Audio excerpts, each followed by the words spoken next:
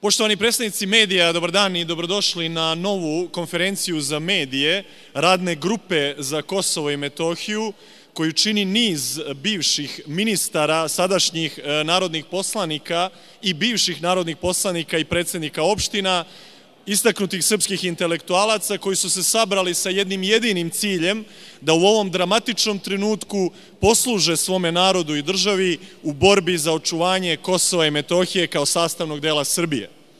Ovu našu radnu grupu čine istaknuti srpski intelektualci na čelu sa akademikom profesorom doktorom Kostom Čavoškim, zatim e, profesorom doktorom Milom Lomparom, e, profesorom doktorom Dejanom Mirovićem, Tu su sa nama i ovde prisutni bivši ministar za Kosovo i Metohiju, profesor dr. Slobodan Samadžić, takođe bivši ministar i podpredsednik vlade Republike Srbije Dragan Todorović, tu je i uvažena gospođa Dragana Trivković u ime Centra za geostrateške studije, sa nama su naravno i e, pokret Srba sa Kosova i Metohije, otačbina na čelu sa narodnim poslanikom Slavišom Ristićem i Markom Jakšićem, i sa nama je i predsednik opštine Čajetina Milan Stamatović i u njihovo ime, dakle u ime ove čitave radne grupe, mi danas ovde pred vama predstavljamo dve stvari na koje ova naša radna grupa u ovom trenutku insistira. Prva stvar je, to je juče poslanička grupa Srpskog pokreta Dveri učinila ovde u Narodnoj skupštini Republike Srbije. Naime, poslali smo zahtev predsedniku Narodne skupštine Maji Gojković za hitno zasedanje varedne skupštine Srbije na temu Kosova i Metohije. Prosto smatramo da nema smisla nikakav unutrašnji dijalog i da nema smisla uopšte govoriti o Kosovu i Metohiji ako se o tome ne govori tamo gde je najvažnija državna institucija u domu Narodne skupštine. Ja sam takođe kao šef poslaničke grupe Dveri uputio pismo svim šefovima ostalih poslaničkih grupa i vlasti i opozicije da podrže ovaj naš zahtev i da takođe zahtevaju od predsednika Narodne skupštine Maje Gojković da se održi jedna hitna, varedna sednica Narodne skupštine Republike Srbije na temu Kosova i Metohije. Ono što mi danas ovde vama predstavljamo, evo upravo u susret dolasku vlade Republike Srbije na e, sednicu Narodne skupštine, jeste pismo njegovoj svetosti patrijarhu srpskom gospodinu Irineju, koji je ova naša radna grupa juče uputila i ja želim sada da upoznam kompletnu javnost sa sadržinom ovog pisma. Vaša svetosti, Kao što vam je poznato, ovo 2018. leto gospodnje biće jedno od ključnih, ako ne i ključno, za određivanje daljeg unutrašnjeg i međunarodnog političko-pravnog statusa najsvetije srpske zemlje Kosova i Metohije. Trenutna međunarodna pozicija Republike Srbije u odbrani teritorijalnog integriteta i suvereniteta države nije previše snažna, ali je daleko bolja nego tokom agresije NATO pakta 1999. godine. Čak ni tad, po potpisivanju primirja koje je i danas na snazi u vidu dokumenta koji je nazvan Kumanovski sporazum, status Južne srpske pokrajine Kosovo i Metohija kao dela teritorije Republike Srbije nije dovođen u pitanje, što je potvrđeno i važećom rezolucijom 1244 Saveta bezbednosti Ujedinjenih nacija. Kako su današnje pozicije naših međunarodnih saveznika, pre svega Ruske federacije i Narodne republike Kine, znatno bolje i sa većim uticajem na međunarodne tokove, ne vidimo ni jedan razlog da bez obzira na mnoge pritiske prvenstveno zemalja NATO pakta, Republika Srbija pristane da se odrekne dela svoje teritorije, naročito jer se radi o duhovnom, nacionalnom, državotvornom i kulturnom izvorištu Srpske crkve, države i naroda. Takođe, teritorijalna celovitnost Republike Srbije i autonomne pokrajine Kosovo i Metohija kao njenog sastavnog dela potvrđeni su i preambulom Ustava Republike Srbije, kao i članovima 8 i 128 Ustava i zbog toga ga ne treba menjati niti raspisivati bilo kakav referendum po pitanju kosmeta i menjanja tih delova Ustava. S tim u vezi, smatramo da je jasna i nedvosmislena poruka narodu, državnicima i čitavoj domaćoj i međunarodnoj javnosti najznačajnije duhovne institucije u Srba, Srpske pravoslavne crkve, o nedopustivosti prekrajanja granica i potpisivanju pravno obavezujućeg sporazuma o otuđenju celog ili makog dela autovne pokrajine Kosova i Metohije, istorijsko zavetna, pastirska, svetosavska i svetolazarevska dužnost majke crkve.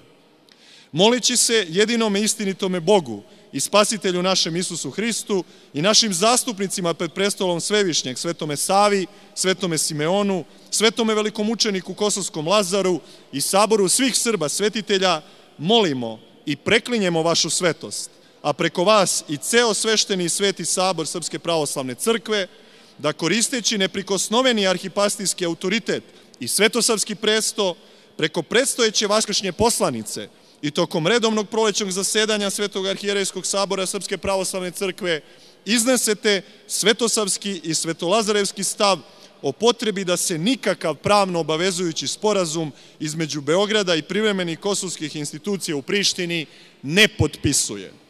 Uvereni da će vaša odluka biti potvrda vaše nepokolebljivosti u očuvanju Kosovsko-metohijskog zaveta srpskog naroda i srpske crkve, sinovski celivamo arhipastirsku desnicu u Hristu odani.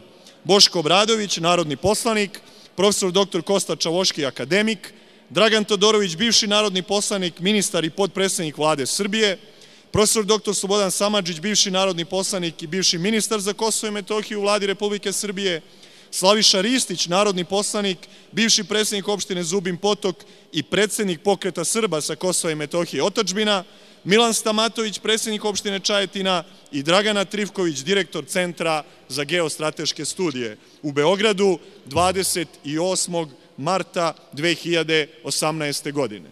Poštovani predstavnici medija, mi vam stojimo na raspolaganju, svi ovde prisutni članovi radne grupe, ako imate bilo kakvo dodato pitanje za nas. Ona, izvolite.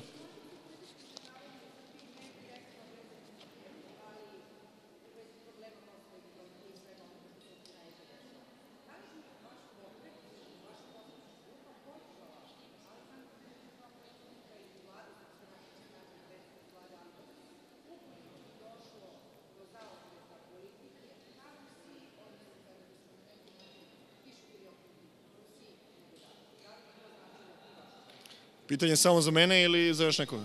Dobro. Da, da, jasno, jasno. Evo ovako, dakle, pre svega želim da vam kažem da sve što se tiče uh, politike srpskog pokreta dveri, prema Kosovo i Metohiji u budući će biti strogo koordinirano sa radnom grupom za Kosovo i Metohiju. Mi u ovim ljudima ovde prisutnima i ostalima koji su članovi ove radne grupe vidimo prvorazredne intelektualne i političke autoritete za ovu oblast i nećemo samostalno donositi nikakve odluke bez konsultacije sa njima. To je prva stvar. Druga stvar, vi ste juče mogli da vidite moje pismo predsednicima svih političkih organizacija u Srbiji, bez obzira da li čine vlast ili opoziciju, gde sam ih pozvao da se javno izjasne da li su za ili protiv pravno obavezujućeg sporazuma sa lažnom državom Kosovo. I u tom pismu ja sam veoma otvoreno rekao da sa svima onima koji su protiv E, potpisivanja pravno obavezujućih sporazuma, dakle protiv menjanja Ustava Srbije i koji su naravno za očuvanje Kosova i Metohije kao sastavnog dela Srbije, mi te kako možemo da razgovaramo i da sarađujemo. Dakle, uopšte niko tu nije izuzet i u tom smislu za nas je važno kako će se svaka politička stranka opredeliti po ovom pitanju i prema tome ćemo mi zauzeti stav prema njima. I mislim da je to krajnje pošteno i rekao bi politički ovako otvoreno sa naše strane.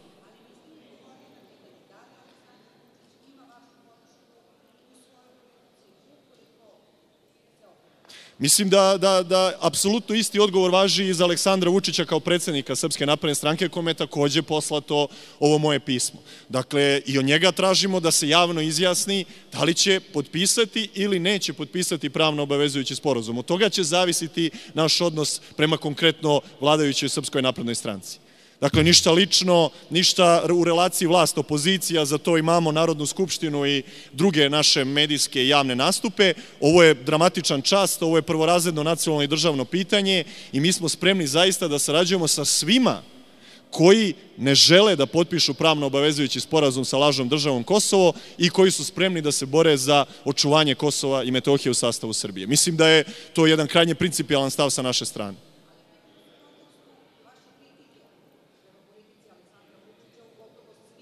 Da.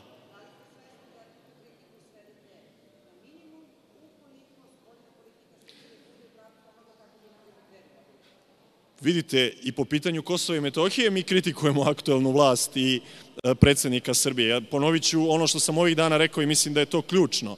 Ozbiljna država ne bi sebi dozvolila da nema kontramere nakon onakvog hapšenja i maltretiranja jednog visokog funkcionera vlade Republike Srbije. To što nema kontramera, što nije prekinut briselski dijalog, što nije poništen briselski sporazum, što nije zatražena hitna sednica Saveta bezbednosti Ujedinjenih nacija, što nije vraćena tema Kosova i Metohije u Savet bezbednosti Ujedinjenih nacija, meni govori da vlada Republike Srbije i predsednik Srbije i dalje ne menjaju pogrešnu politiku prema Kosovu i Metohiji, koja znači odricanje od Kosova i Metohije zarad puta Srbije u Evropsku uniju. Ako se tu nešto bude menjalo, onda smo o svemu tome i tekako spremni da razgovaramo. Do tada ja ne vidim o čemu možemo da razgovaramo i ne vidim zašto bismo prestajali da kritikujemo vladu Republike Srbije po svim drugim pitanjima koje su na dnevnom redu. Evo danas, evo za koji minut, počinje posebna sednica Narodne skupštine poslednjeg četvrtka u mesecu na kojem vlada treba da odgovara na pitanja narodnih poslanika. Ja vas podsjećam sve iz medija da za ove dve godine novog skupštinskog saziva vlada je samo dva puta došla u Narodnu skupštinu, ovo je treći put. Za prethodna dva puta niko od većih opozicijonih grupa u Skupštini nije mogao da postavi ni jedno pitanje vladi. Evo ja vas molim da i sada pogledate da li će bilo ko od nas moći da postavi bilo koje pitanje, a svakako uh, jedno od njih je pripremljeno u vezi sa Kosovom i Metohijom. Ako dakle ne budemo u prilici da to pitanje postavimo vladi u plenumu, svakako ćemo to ovde na konferenciji za medije u 19 sati i učiniti. Da li ima još vaših pitanja za bilo koga od nas? Ako ne, hvala vam puno i vidimo se ponovo. Verovatno već u 19 sati.